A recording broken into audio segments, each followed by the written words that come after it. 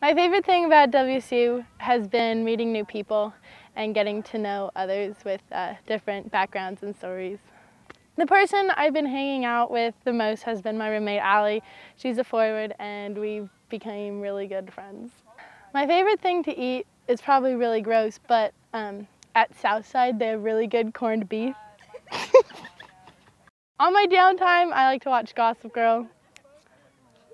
I chose WSU because the atmosphere is really nice and I love the soccer team and it just seemed like it was going to suit me very well.